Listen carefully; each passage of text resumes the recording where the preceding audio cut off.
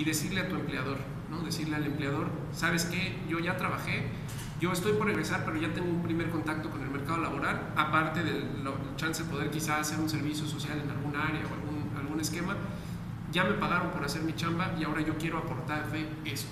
Entonces es un, es un primer indicio que estamos también trabajando y que estaremos en pláticas con las diferentes empresas, con, con las cámaras empresariales, para que sea un modelo en el cual no solamente el gobierno ponga de su parte, sino también la iniciativa privada ponga de la suya para poder hacer de este, este modelo, aprovechando que ya existe el esquema, pues que pueda ser una iniciativa que, trabajemos juntos, ¿no? la iniciativa privada. Yo también los invito a que se puedan sumar a este tipo de, de situaciones en donde contratemos los jóvenes y luego me decían, bueno, ¿y por qué jóvenes? Y los jóvenes siempre son los que más fácil tienen el tema de la chamba.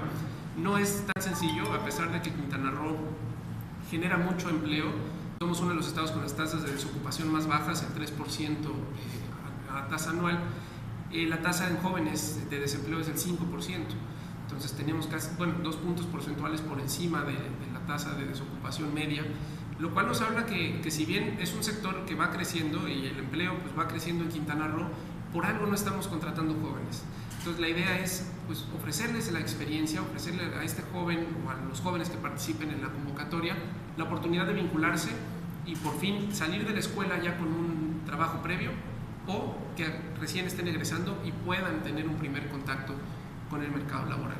¿no? Y también pues ahí hacerles un poquito de, énfasis. El día de viernes tendremos una feria de empleo y oportunidades para jóvenes en la ciudad de Cancún, en el Planetario Cayoc, donde vamos a estar ofreciendo más de 1.500 oportunidades de, empleo en la ciudad de, Cancún.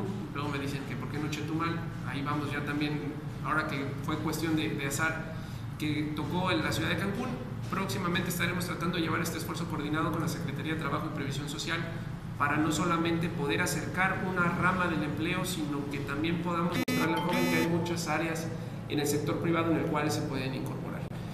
Y pues la idea es que podamos estar al pendiente ¿no? de la iniciativa, de cómo van a estar eh, desarrollándose los, los, mismos modelos, quiénes son los que van a entrar, que hagan también ustedes un, un análisis en algún momento determinado de cuáles fueron los perfiles que entraron y obviamente pues dar los resultados al final del proyecto y decirles, bueno, apoyamos a 100 jóvenes, ¿no?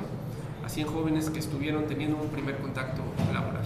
Entonces es lo que, lo que estuvimos guardando durante algún tiempo porque me preguntaban que qué actividades íbamos a tener en el Día Internacional de la Juventud, que a qué artista íbamos a bajar, que qué, qué evento íbamos a tener y yo se los platicaba y les digo, bueno, creo que prefiero sacrificar el no traer un